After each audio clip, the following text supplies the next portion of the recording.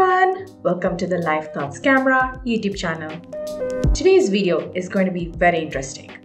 I'm going to show you how my feet look after it's been more than 6 months since I did my pedicure.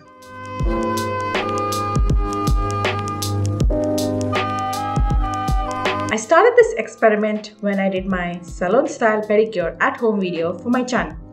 So that should give you a rough idea about the time frame. And here they are, my toes after 6 months of not doing any pedicure. I am a bit surprised to see them like this. I usually don't leave my nails unattended for so long. And another surprising fact is that they don't look bad at all. I guess my nail care upkeep tips and tricks do help out a bit. Now before I head over to my next point, I just want to mention my nail art playlist. Is a must watch for beginners.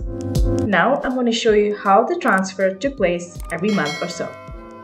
Some of the points I want to share, like the nails on my toes grow out slower than my fingernails. I guess my nail polish lasted so long.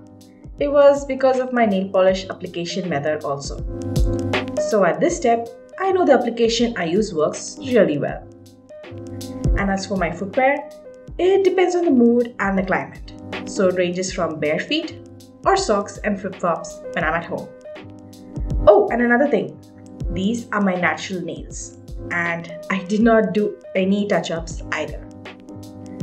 The main thing was only trimming of nails. I kind of had to do them.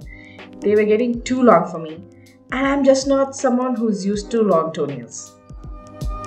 If you're interested in lifestyle, do check out my other videos.